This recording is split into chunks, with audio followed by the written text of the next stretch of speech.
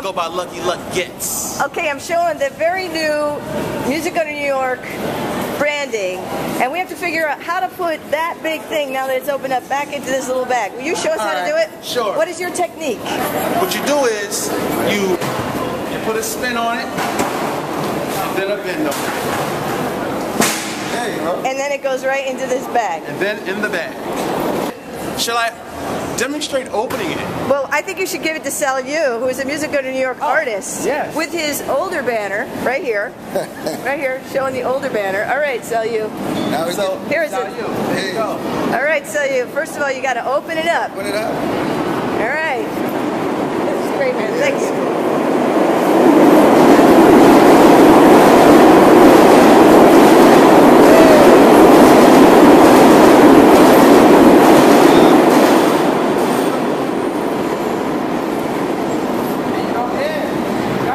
Got it. Too big. Too big. huh? Yeah, it's got to fit in that little small round bag.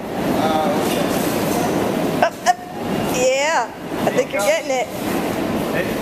that's it, right? Yeah. First time. Now, can you put it in the bag? Yeah. So, what do you think about it? It's cool. Pretty nice.